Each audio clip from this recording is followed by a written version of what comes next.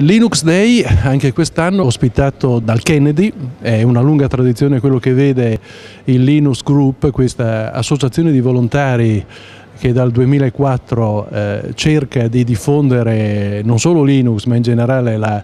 il concetto di open, open software, open document eccetera e che costituisce uno di quei piccoli motori dell'innovazione eh, nel nostro territorio. Noi come amministrazione da sempre abbiamo manifestato una grande vicinanza a temi di questo tipo, abbiamo fatto delle delibere di indirizzo proprio per sposare eh, il fatto di usare eh, software open nella pubblica amministrazione. Allora sembrano tutti termini tecnici eh, piuttosto strani, piuttosto no, lontani da quello che è la nostra vita quotidiana. Non è così, è un modo per eh, condividere meglio le conoscenze, per far sì che dal punto di vista tecnico si sia, noi si diventi capace di fare dell'innovazione, di essere nel mondo dello sviluppo software. La mia presenza qui oggi